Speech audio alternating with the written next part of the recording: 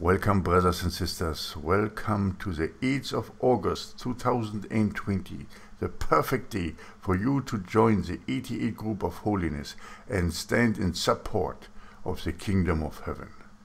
My name is Michael. I'm the founder of Triple Grace and the Righteous Path Movement Foundation.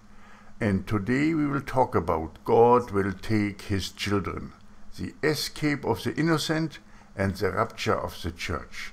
What is the difference? Brothers and sisters, a very special topic for you. I know you like when we talk about the escape of the children.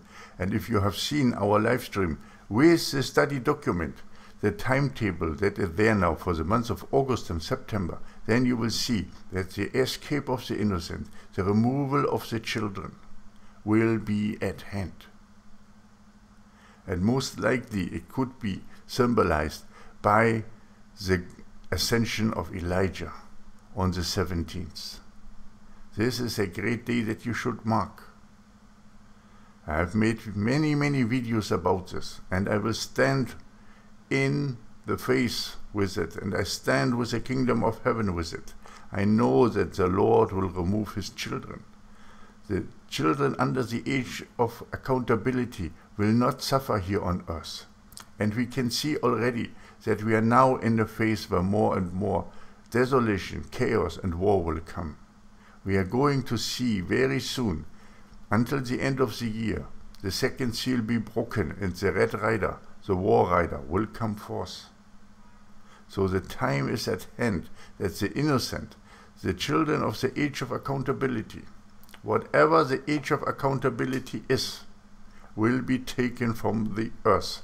And the Lord has already told me in many visions that the angels are standing already, standing ready to take the children. They are deployed to the four corners of the earth, and they are just waiting for the commandment to take them out.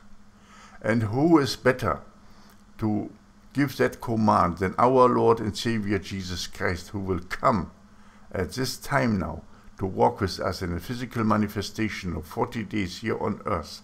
And he will initiate not only the dead in Christ rising, but also the escape of the innocent. He loves the children so much as you have seen in the scripture, and he will make sure that none of his children will be harmed. Now, brothers and sisters, the age of accountability is five years, or it is seven years, or it is six years, or it is 13 years. It does not make any difference. God, in his perfect ways, will take the children that cannot defend themselves out of this world before his hammer will fall. Now, brothers and sisters, if we are talking about the escape of the innocent, will then no other people except children be taken?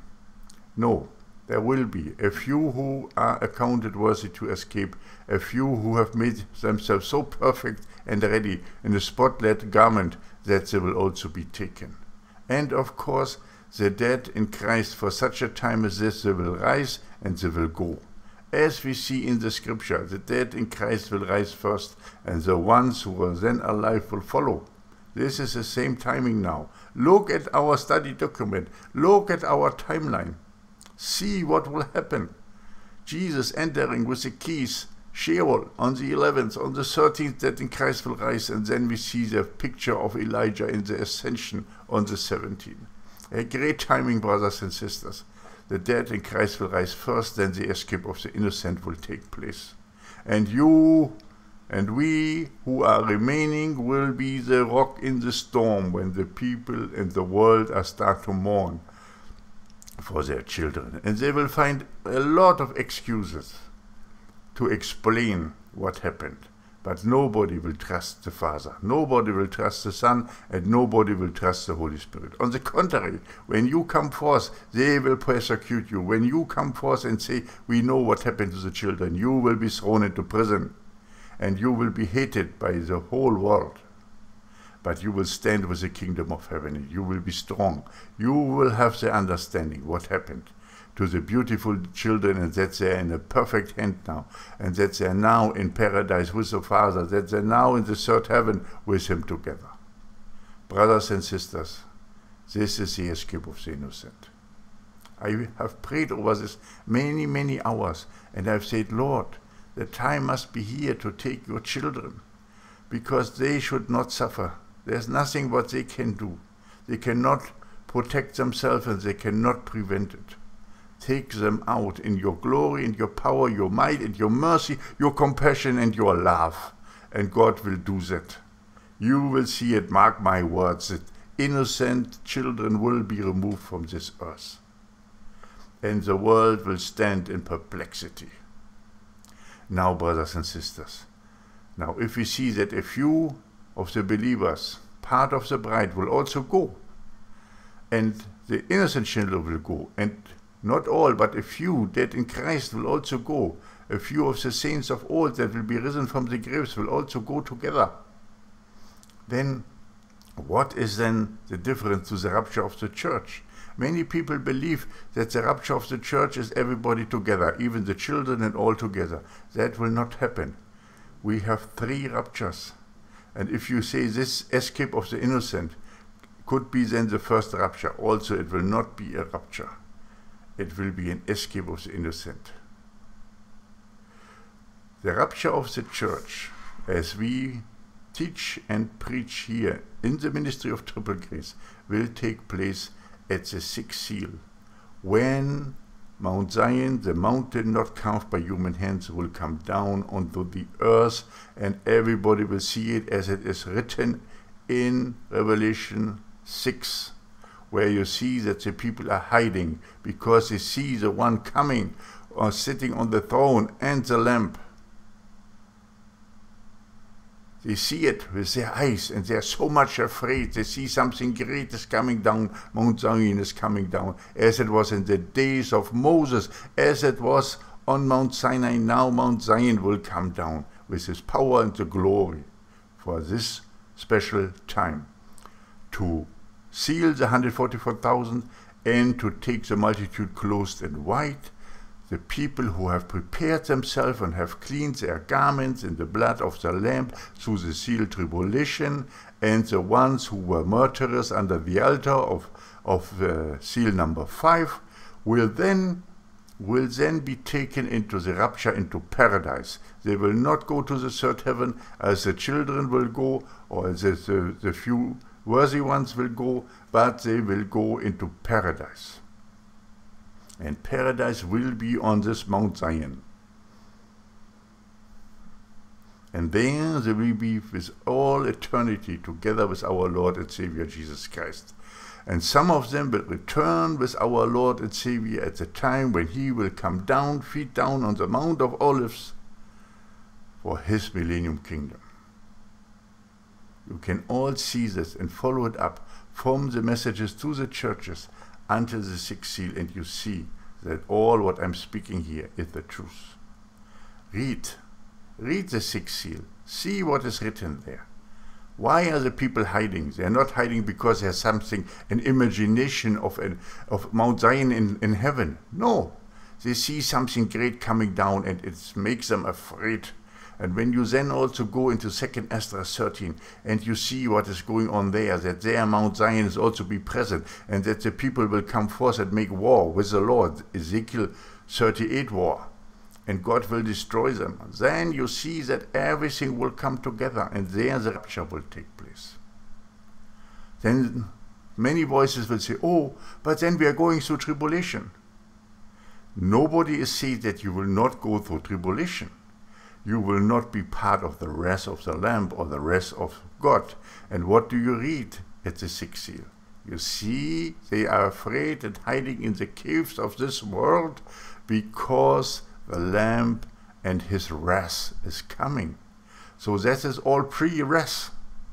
And if it's pre-wrath, then the rapture of the church will take the people out so that they are not part of the wrath of the Lamb, which are the trumpet period the trumpets of God will sound and the wrath of the Lamb will come down. And then at the end, for the people who are still standing with the beast, with Satan, with his worldly kingdom, will then receive the wrath of God, which are the bowls.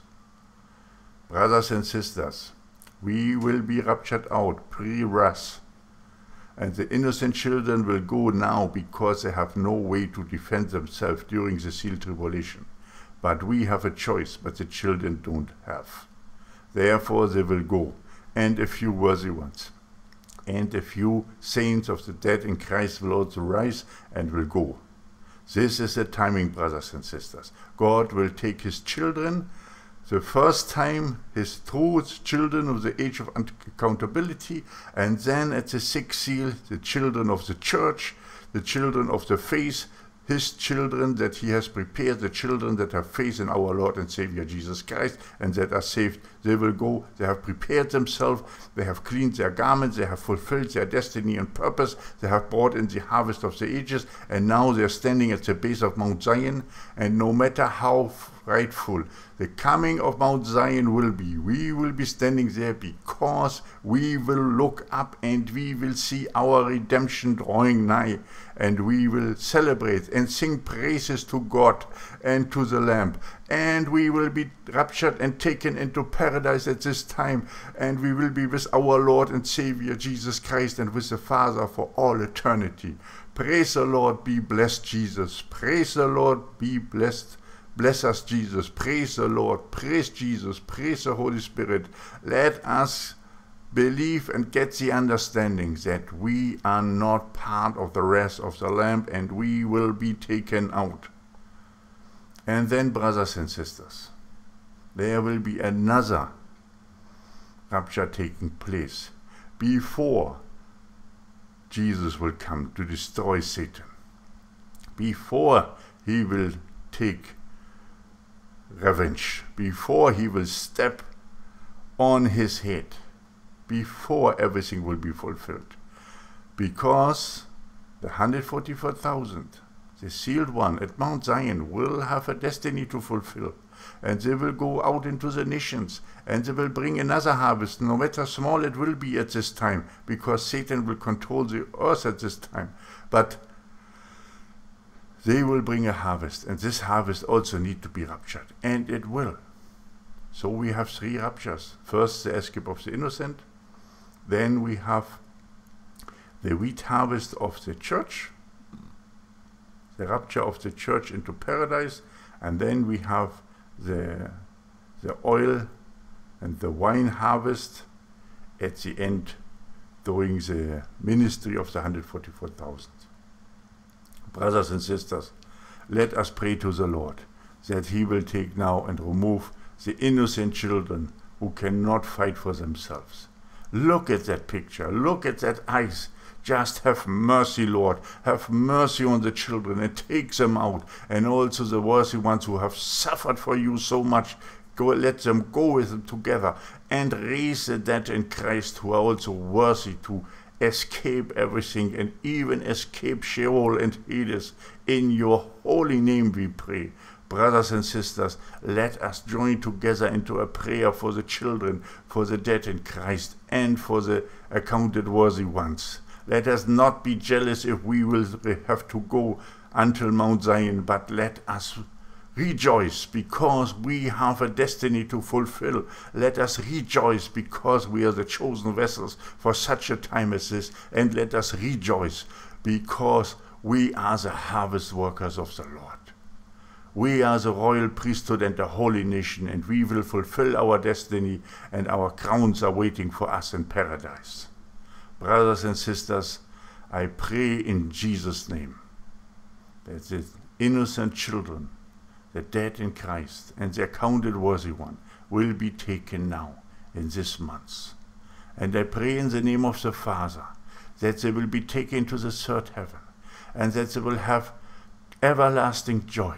And I pray in the name of the Holy Spirit that the Holy Spirit will come down to us and guide us in our destiny to bring in the harvest of the ages and that he will guide us through the new blessings and uh, through the new wilderness, guiding us towards Mount Zion, where we will be raptured into paradise when we have cleaned our garment in the blood of the Lamb. Thank you for all, Father. Thank you for all, Jesus, and thank you for everything, Holy Spirit. Amen and amen. Maranatha.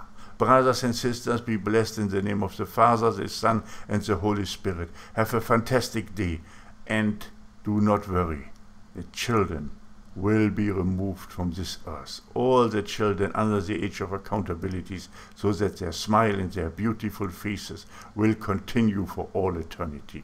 And the parents will be joined with them together when the day will come. Be blessed. Have a great day. And join us in the other videos. Spread that video. Get the understanding out. Where we are standing, what will happen, and where we have to go and what we have to do. I love you all so dearly, but God loves you and the children much, much more. Amen and amen. Maranatha.